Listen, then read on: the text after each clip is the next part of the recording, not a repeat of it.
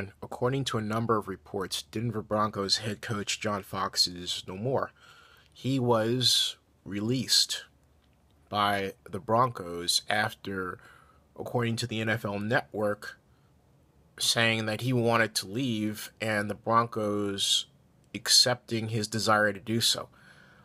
I say that with this weird expression on my face because Jeff Darlington at the NFL Network said, quote, he, being John Fox, just got word of this, the release, a few moments ago.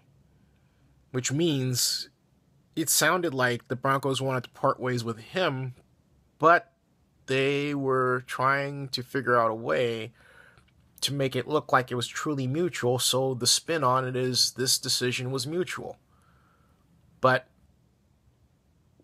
if the Bronco, unless there's something in John Fox's contract, well, actually, there is, such that he can walk away with some money in his pocket, then it's questionable. But now I, I catch myself because I think of Doug Marrone, who was the head coach of the Buffalo Bills, walking away